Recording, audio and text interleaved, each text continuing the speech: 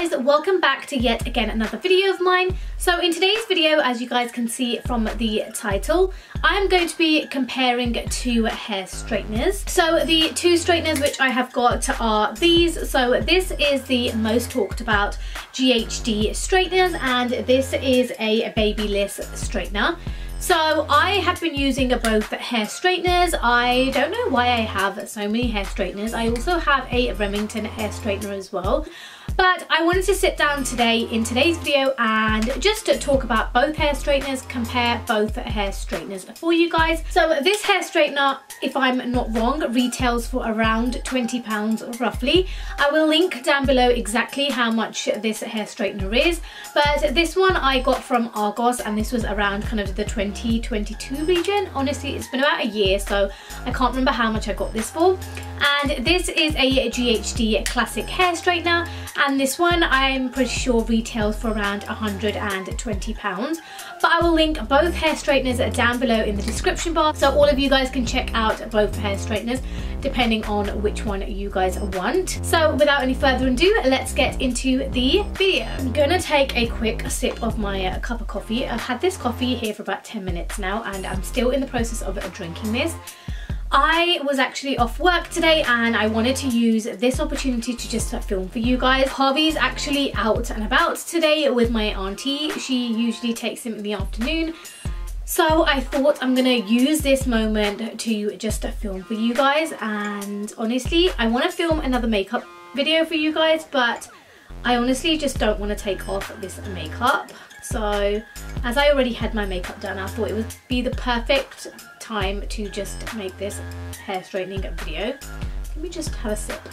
Basically, just drank all of that coffee in one go. But yeah, so I have already partitioned my hair in the middle. So I always have a middle parting. So I've already partitioned my hair and as you guys can see, it is very kind of frizzy as well. So just to make this game really fair, I have just washed my hair because I wanted to start off with fresh hair. So I have washed my hair and I have conditioned my hair in the shower.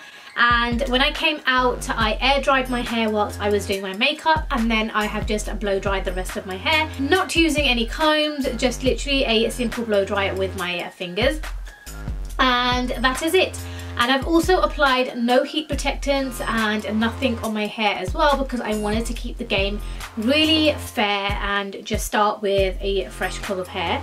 So this is it. So the first thing I'm going to do is I'm gonna compare how long each straightener takes to get hot. So, and I'm just gonna talk about both hair straighteners as well. I'm gonna switch them both on. So this is a button on button and that is switched on and that makes a noise. So this one doesn't make a noise and this one does. Both of these hair straighteners don't shut off after a certain amount of time. I do own a, this cup is distracting me, so I'm just gonna move this. So this hair straightener just made a noise, but I was moving my cup, so I don't know if you guys have caught that. But this hair straightener has made a noise, so I'm pretty sure this one is already hot, and I can feel the kind of hotness over here. This hair straightener is also on. So both of them have uh, got warm in about 30 seconds. So both of them say that they do get hot in 30 seconds, which is correct. They both have, this one has a kind of on and off um, switch and this one just has a button. So this one actually you can choose the temperatures. So if you guys can see there, you can choose the temperatures. The lowest temperature is 140 and the highest is 235.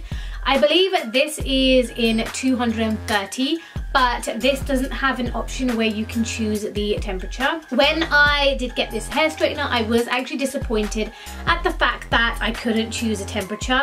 Whether I actually use a different setting of temperature, no. I always use my hair straightener in the hottest one. I've never kind of looked at the lower speeds and the lower temperatures. I always use it in the hottest. So whether that bugs me, not really. Um, I think it was just a thing where when I was comparing my hair straighteners. So now both of these are on.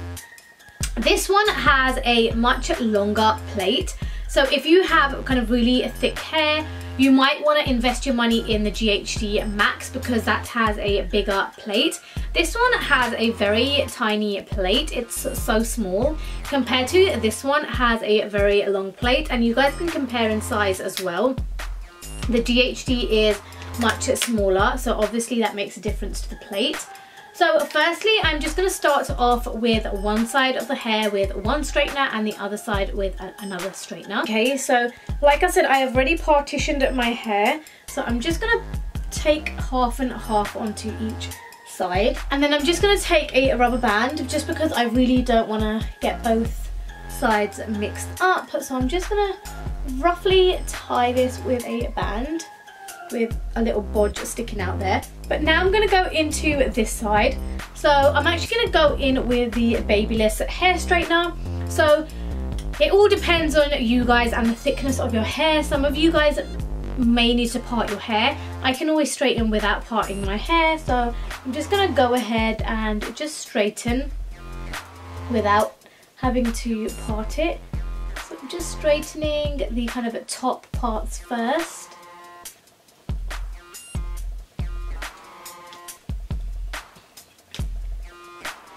I'm literally finding this so difficult because I have got no mirror in front of me. So I've got my laptop which is reflecting the viewer from the camera and then I'm just kind of staring into the viewer and I'm trusting the viewer to tell me when my hair is straight.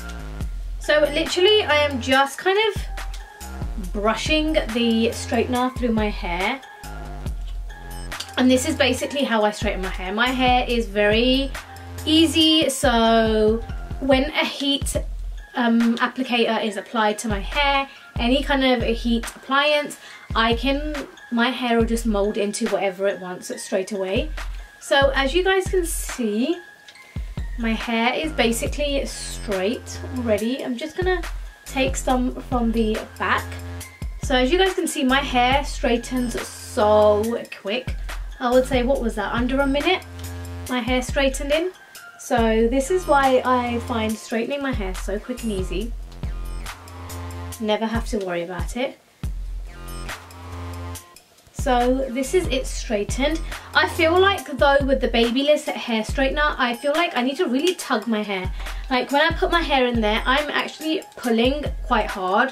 I find that the straightener isn't just going through my hair really nice and smoothly itself the way it should be but this is the side with the Babyliss straightener and I think it's done really well I mean it looks really nice so now I'm going to go in with the side this side with the GHD straightener and I'm gonna see how it looks so I'm gonna leave this onto this side as you guys can see this side is more frizzy and this side isn't I'm going to go into this side now.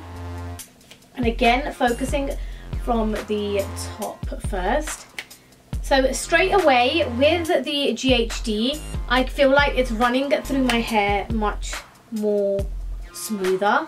And then, like I said, the thing I feel with the GHD is because it's got a small plate, I need to take so many more streaks through my hair but I feel like it is so soft. Like look, the hair just goes so nicely just out of the other end of the straightener, which I really do like.